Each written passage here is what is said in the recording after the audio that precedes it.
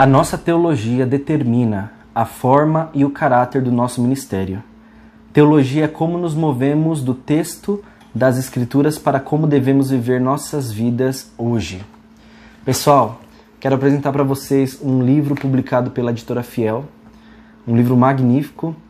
É, ele foi lançado lá nos Estados Unidos há quase 10 anos atrás. As editoras elas estão se empenhando muito para conseguir é, traduzir, publicar livros de teologia, como não temos muitas, muitos consumidores e muitas pessoas que se interessam por esses livros, então o processo é muito mais lento do que outros livros. Mas eu quero te encorajar a investir na, no, no aprendizado bíblico, no aprofundamento da teologia, porque assim como eu li agora, que é um dos pontos principais do autor, a sua teologia ela molda a forma que você vive. Este livro se chama Teologia Bíblica na Prática. Esse é o alvo do autor, mostrar como a teologia bíblica, que é uma das ferramentas para a gente entender as Escrituras, como ela influencia na prática ministerial. A forma como você encaminha a sua igreja local, ou como você orienta as pessoas, como você vê o mundo, ela é influenciada pelas lentes da sua teologia. Não pense que teologia é pouca coisa ou é campo abstrato, eu quero coisa prática. Na verdade, a sua prática é um reflexo daquilo que você tem de teologia. Então, o escritor é o Michael Lawrence, que é um erudito das escrituras, é PhD em teologia em, em universidade muito reconhecida. E ele não só está na academia, como ele está na igreja local, é um dos pastores principais de uma comunidade de fé batista. E ele participa do conselho do TGC, The Gospel Coalition. Pessoal, é, ele é basicamente dividido em três partes. É um livro que o autor ele é muito didático. O público-alvo não é os acadêmicos. Então, se você quer um livro com nota de rodapé, cheio de informação teológica de exegese, termos originais, é, um aprofundamento, aí eu vou, posso indicar outros livros que tem o tema teologia bíblica, por exemplo, o Teologia Bíblica do Novo Testamento, do, Bill, do Billy, Graham Goldsworthy, trilogia.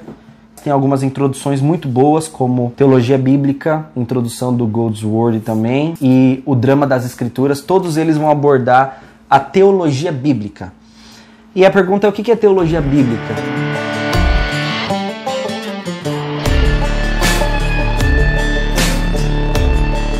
Teologia bíblica, o propósito é você olhar de Gênesis a Apocalipse, uma única história, um único drama até por isso que tem esse livro, Drama das Escrituras. É um único enredo. Deus não perdeu o controle em nenhum desses momentos. Mas então essa é teologia bíblica, esse panorama da gente ver as escrituras como um todo e então a gente se encaixar em um momento desse plano de redenção de Deus e cumprir o nosso chamado. Aqueles que estão no ministério, por exemplo, pastores, presbíteros, diáconos, líderes em geral, ou aqueles que aspiram à liderança, seminaristas, esse é o público-alvo dele. Como eu disse, o livro é dividido em três partes.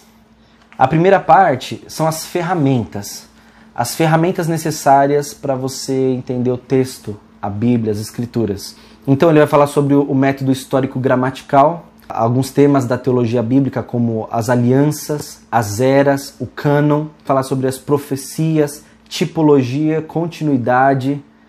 E essa parte é super interessante porque é, enquanto ele for falando, você vai vendo como a gente é moldado de uma forma errônea na forma que a gente expõe as escrituras. Se tornou muito comum em algumas denominações a alegoria, o que pode ser muito perigoso para a comunidade, para a saúde da comunidade de fé.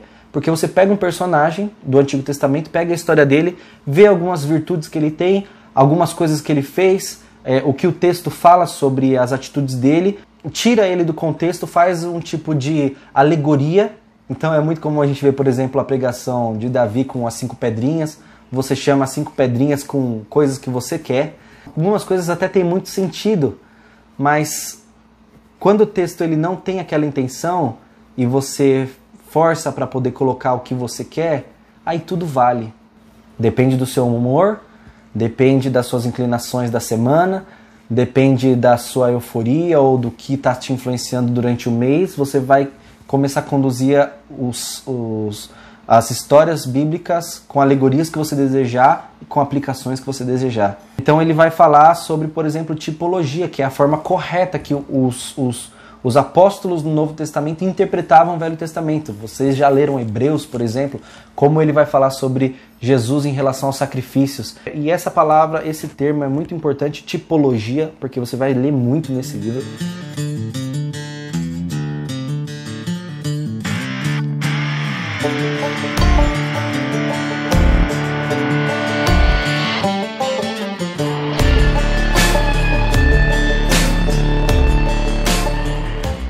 Então, os, os, sacrifícios, por exemplo, no Antigo Testamento eram tipo real, mas ele apontava para algo pleno que ia vir lá na frente. Então você vai ver que várias histórias elas vão ser tipos para o antítipo, que é, cumprido em Cristo, na igreja, e Paulo, é, Pedro, o autor dos Hebreus, eles vão usar muito a tipologia, mostrando que lá atrás o que aconteceu foi uma sombra para aquilo que vai acontecer em Cristo. E aí então a pregação ela converge quase plenamente na pessoa de Cristo e no Evangelho.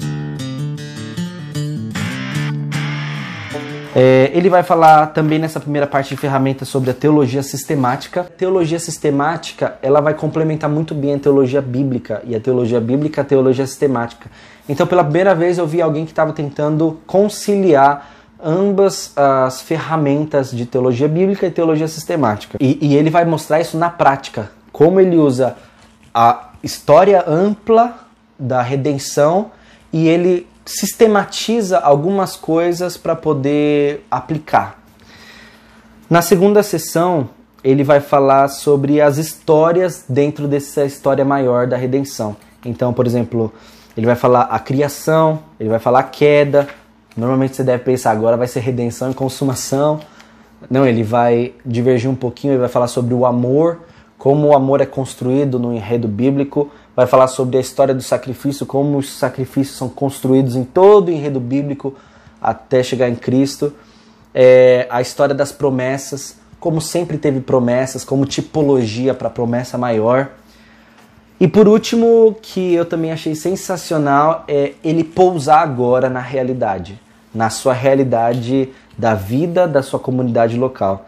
Então ele vai falar como a gente usa a teologia bíblica, essas ferramentas que você não pode nem deixar guardada, mas você tem que usar o tempo todo na sua pregação.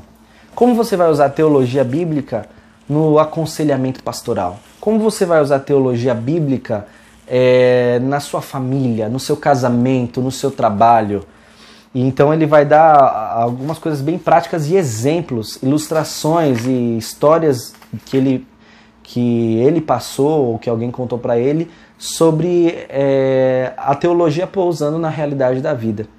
E a minha conclusão, é, minha consideração final sobre esse livro, eu achei ele fantástico. Mesmo que já saibam algumas coisas, ele vai fazer de uma forma muito didática para você apresentar essa ideia para outros que não aderiram ainda. Como isso faz diferença na saúde cristã, como isso faz diferença na saúde da sua comunidade de fé. Se quisermos que o nosso ministério tenha um impacto duradouro e que as nossas igrejas sejam saudáveis, devemos primeiro fazer bem nossa teologia. Então, entender bem as Escrituras e o que ela nos apresenta e aonde ela nos direciona é o primeiro passo para você ter uma comunidade de fé saudável. E eu vou tomar emprestado as palavras de Michael Orton é, sobre este livro que diz assim: Michael Lawrence acredita que bons pastores são teólogos e bons teólogos são pastores. Para todos que acreditam que a teologia precisa da igreja e a igreja precisa da teologia, este recurso é muito bem-vindo. Então, eu acredito piamente, piamente, que um material como esse vai abençoar muito a comunidade de fé e muito a vida da liderança. A igreja ela está vivendo num contexto hoje onde a gente vive num mundo cheio de informação, onde qualquer coisa você coloca no Google e uma criança, minha filha de 4 anos, ela já tem informação que eu tinha com 15 anos mais ou menos. Ela sabe de tantas coisas porque ela pesquisa, porque ela pergunta, ela vê as informações na TV, tudo está tão acessível de informação.